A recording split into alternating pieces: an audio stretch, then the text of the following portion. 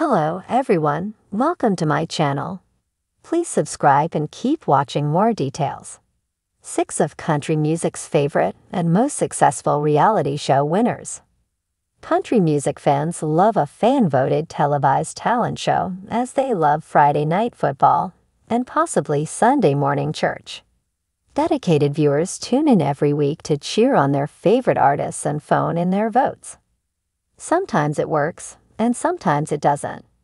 And sometimes losing can be more profitable than winning. It's rare for a reality show winner to break out of the television show and go on to have chart topping careers. However, it does happen. Here's a look at country music's most popular reality show winners. Carrie Underwood won American Idol in 2005 and went on to sell more than 85 million records and chart 28 no. One songs, 14 of which she co-wrote. Underwood, a member of the Grand Ole Opry, recently performed the 50th show of her Las Vegas residency at Resorts World Theater.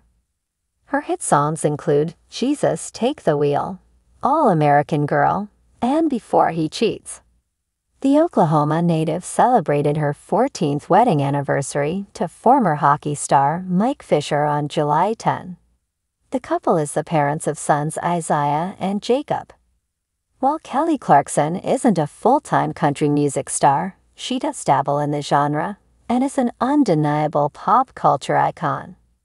Clarkson won American Idol's first season in 2002 and went on to NABNO, one hits, including Stronger, What Doesn't Kill You, My Life Would Suck Without You, and A Moment Like This.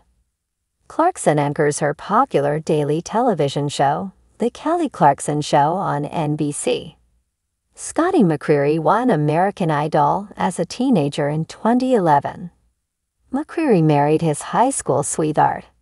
They welcomed a son, Avery, in 2022. The North Carolina native is a Grand Ole Opry member with six now, one songs to his credit. His most recent two singles, Cab in a Solo and Fall of Summer, were most added to country radio the week they were released. In May, he released his chart-topping fifth studio album, Rise and Fall, an artful album that reflects the depth of McCreery's evolution as an artist, his penchant for storytelling, and his continued dedication to country music. Chris Young won USA Network's now defunct talent competition in 2006. After getting off to a slow start with Sony Music Nashville, Young went on to chart 13 No. 1 songs, collect more than 5 billion on-demand streams, and was inducted into the Grand Ole Opry. Young's hit songs include Young Love and Saturday Night, I'm Coming Over, at the end of a bar, famous friends, and more. Young headline Nashville's Let Freedom Sing. Music City July 4th celebration last week for a record breaking 355,000 people. The night included one of the country's largest July 4th fireworks shows, Drone Light Elements, and was televised as part of CNN's The Fourth in America special. Cassadee Pope didn't begin her career with aspirations of being a country singer. And she doesn't want to be one right now, either. However, after Pope won The Voice in 2012, she released her debut country album a year later. She and Chris Young teamed up for a chart-topping duet, Think of You, in 2016.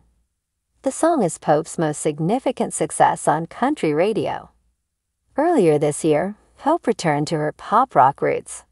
However, she said she started her departure from country music with her Levi Hummon collaboration, RCP, in 2022. Craig Wayne Boyd captured the hearts of country music fans during a successful run on The Voice in 2014. Boyd told fans that before he came to California for the show, he had been sleeping in his truck. But he lost his truck so he slept on a friend's couch.